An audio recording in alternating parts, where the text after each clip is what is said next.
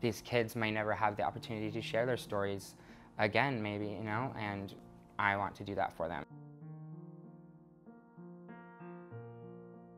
Hi, I'm Maxwell Poth. I am a photographer here in Los Angeles and I also run my own photo project turned nonprofit called Project Contrast. I grew up in a small town in Utah called Bountiful, Utah. All the struggling I had happened as a teenager, uh, so I definitely, you know, feel like a lot of people have similar stories. I definitely felt alone, not understanding why for a long time um, because where I come from, it's very cookie cutter. You have to have these expectations to reach heaven and to reach an eternity with your family, and that's where all those social pressures come where I'm from.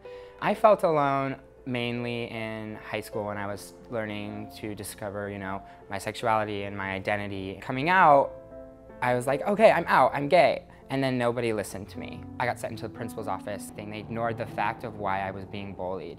And that's when I feel like I felt the most alone.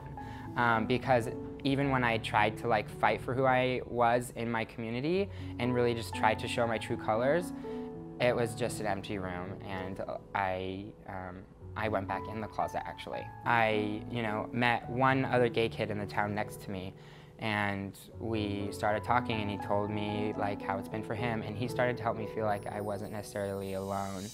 When I, when I came out and I was the only openly gay kid, I, um, it's funny that I'm sitting here right now because, you know, I always watch the It Gets Better videos.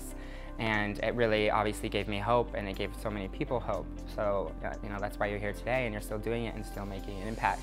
I decided to, you know, go back and start photographing um, all these queer children, you know, all these queer kids taking their photos and making them feel, you know, resilient and beautiful and who they are and giving them that confidence they need. More kids wanted to be involved and get their photo taken and share their stories and they were meeting each other and becoming friends.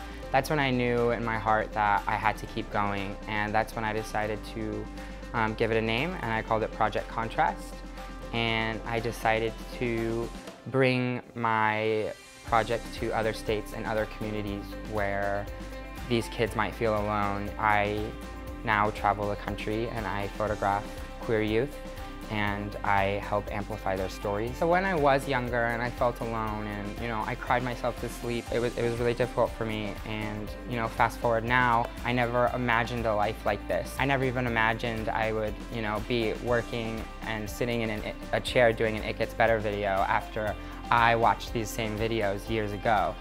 Now I live in Los Angeles, California, and I am working as a photographer, and I um, embrace being a gay man, and I embrace being um, an artist in the LGBTQ plus community, and I am, now it's my turn to give back. My advice to you would be to, one, make sure it's safe when uh, make sure you're in a community where you know you, you can come out and um, it's safe for you and you might have that chosen family and you might have that opportunity to be who you are. And if you need to hold tight for a second longer that's okay because it does get better. And I would also uh, find your resources and find the people that might be there. And it doesn't necessarily have to be a, a person. It can be, you know, uh, a, a, center and there can be people there that can help you or maybe a therapist or someone that can be your outlet to at least be yourself until the time comes when you can fully and truly be the person you are meant to be.